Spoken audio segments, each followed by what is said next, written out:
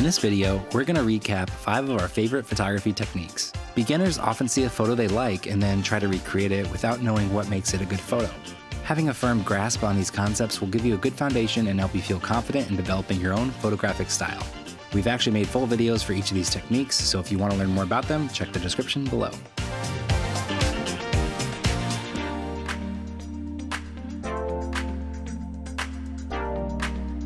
Subframing is essentially the technique of creating a frame within a frame. This is most commonly used to bring your viewers' attention to your subject. You can implement subframing quite literally, like in this example, but there are more subtle ways in which you can implement it as well. You can use elements from your background, foreground, light, textures, colors, and any combination of these to strengthen your composition. When executed well, subframing will immediately show the viewer where to look. It can also provide additional visual interest to the photo and add depth. The great thing about adding more compositional techniques to your photography toolbox is you can use it for a variety of different genres of photography and filmmaking. You can use it in street photography, fashion, commercial, or even just when you're on vacation. During this shoot, we often used layers of subframing to add complexity and depth. Here, she's subframed by the entire window and a smaller frame.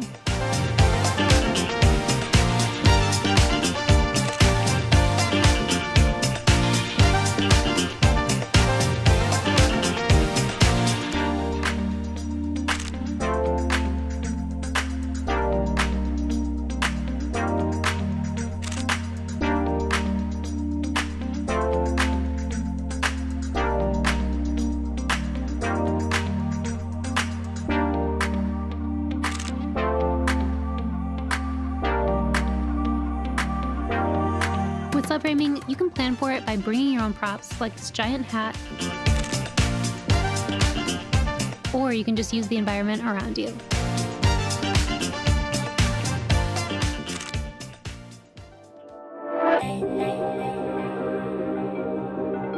The colors that you choose to include in your shoots have a huge impact on how viewers perceive your images.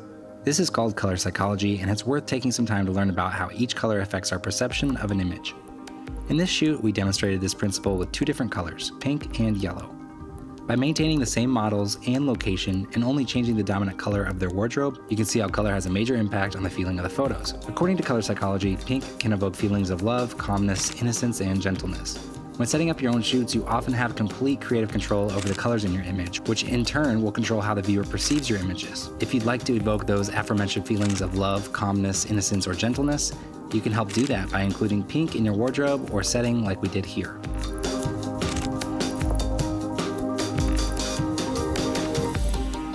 Are you getting any of those vibes in these photos? Hope so.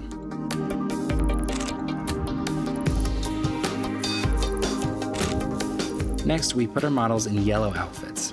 Yellow should help promote feelings of energy, confidence, creativity, and joy.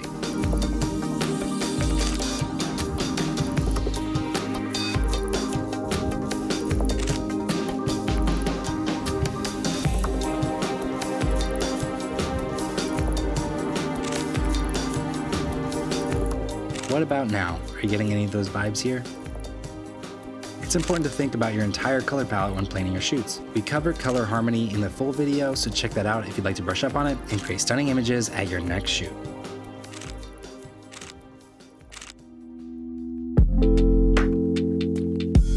Color blocking is where you take opposing colors on the color wheel and pair them together. The idea is that the colors will clash in a way that is striking and stops you in your tracks, which is a great goal to have as a photographer. For this color blocked photo shoot, we used a color wheel to help us pick out two opposing colors on the color wheel, blue and tangerine. Because of the way these two colors contrast, the eye will instantly be drawn to them, which is exactly what we want in this day and age of fast scrolling.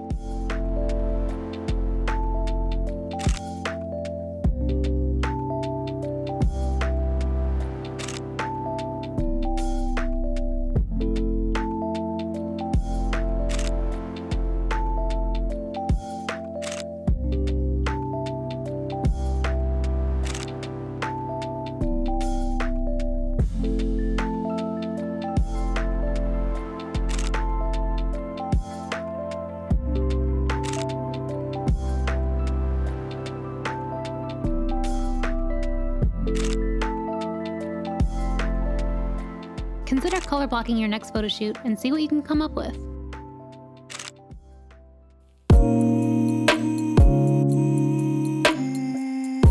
Negative space allows you to solo your subject. It also creates a relaxed mood that really lets the photo breathe. It can serve to make your photo feel clean, or it can provoke a feeling of solitude. When used correctly, negative space can even become the subject of the entire photo. The first thing we did here for this photo shoot is find a location that would give us plenty of open sky. Here in LA, that meant the beach, but if you're landlocked, hills, open fields, or any area with distractionless backdrops should work. The perspective from which you shoot is going to play a huge role in getting the right composition. We prefer getting low to shoot or placing our subject on a hill or higher vantage point. This will help keep our background minimal and better isolate our subject from their surroundings. Alternatively, you can also shoot down on your subject from a higher vantage point if the ground is clear of distractions. Feel free to break composition rules where it makes sense. For example, this photo doesn't abide by any traditional rules of composition, but breaking those rules allowed us to create a feeling of vast, open sea in solitude. If your subject has a pop of color, the eye will automatically be drawn towards it. This serves to direct viewers to your subject and further separates your subject from the background. If you have a lot of elements in your image, having your subject closest to your lens will further serve to direct the viewer's eye to your subject. Negative space is a great tool to have under your belt. Don't forget to utilize it when you need to. If you've learned anything so far about photography, it's probably composition. But here are three things you might not know about it. One, know the rules of composition and know that you can break them. You've probably heard of the rule of thirds, but if you haven't, here's what it is. Rule of thirds asks you to place your subject at any of these four places, or as they're better known, the thirds. Good composition also calls for headroom and looking room. It also asks you to refrain from cutting your subject at the joints.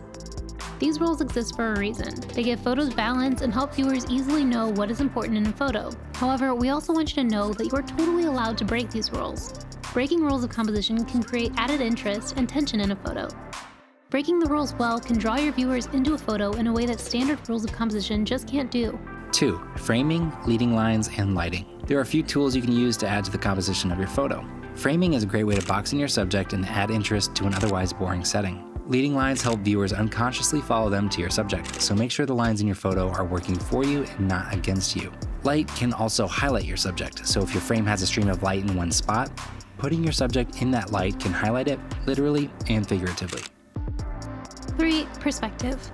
There are a lot of choices you have to make when composing your shot, and perspective is one of them. Shooting straight on at your subject or shooting straight up at him or her can create a drastically different story and feeling.